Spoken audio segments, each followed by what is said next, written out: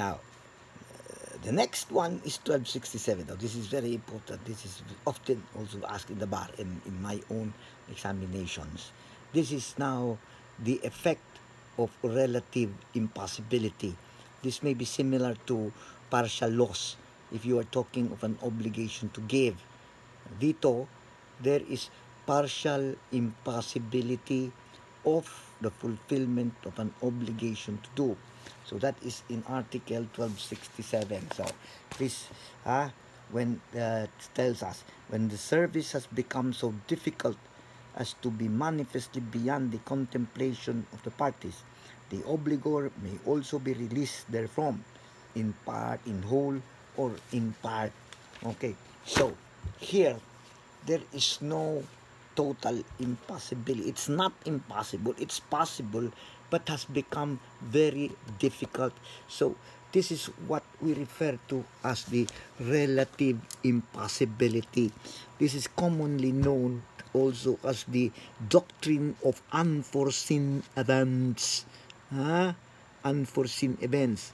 But there are other uh, terms of which this doctrine is referred to. So might as well just enumerate them for you. But you will find them also in the PowerPoint presentation, the second uh, PowerPoint I, uh, uh, allowed you to reproduce. So aside from doctrine of unforeseen events, it is sometimes known as the theory of imprevisibility, theory of lack of basis, all right? The, the theory of lack of basis is also referred to sometimes as the doctrine of frustration of enterprise. So, if it is asked of you, what is doctrine of unforeseen event? What is doctrine of uh, frustration of enterprise? What is the theory of imprevisibility? What is the theory of lack of basis? It all merely refers to Article 1287. That is the relative impossibility, difficulty of performance. So, here, uh, please take note that uh, this would be applicable only in the following requisites were present.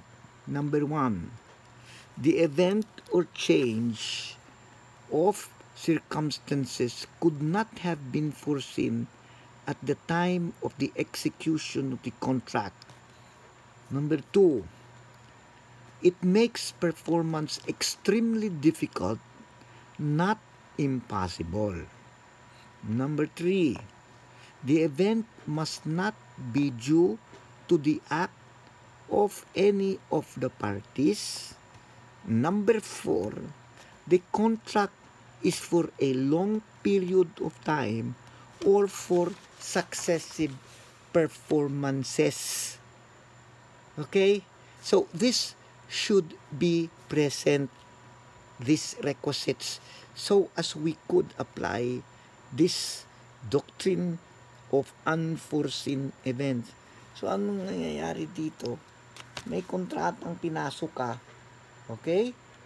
Uh, under certain set of circumstances with the thinking that these circumstances will continue on unchanged for the duration of the effectivity of the agreement. Unfortunately, there come now some changes which now never was contemplated by you or the other, making it not impossible for you to fulfill your obligation arising from the contract, but makes it extremely difficult for you to do it, brought about by that change in circumstances, yung supervening event na yan. Right, now, the first thing that you have to know here is that when you talk of difficulty of fulfillment of the obligation, it is not limited to physical difficulty, no. Difficulty may also refer to instance when such performance would place one party at a disadvantaged position by the unforeseen event. See, when you enter into a contract, especially if it is a business or a commercial agreement for that matter, obviously you will always be thinking of your own personal interest. Circumstances will be taken into consideration. That is the present. So, considering the present circumstances, there are stipulations, and you feel and believe that it is equitable, it is fair. So you have this obligation, yes, this obligation. So you proceed with it. It is for a long duration. Unfortunately, during the life of the contract, an event occurs that changes the circumstances. This time, it makes it so difficult for you now. Not really difficult to fulfill it physically, but to be asked to still fulfill would utterly be unfair already to you. Oh, inequitable. Na never did you contemplate on. Hindi na patas. Okay, so that will also be considered as impossibility of the not impossibility but difficulty in the fulfillment of the obligation to do. See? All right. Now this was illustrated maybe uh, uh, uh, during our time uh, professor Rado gave us this illustration. So I will give you also the same example Rado gave us then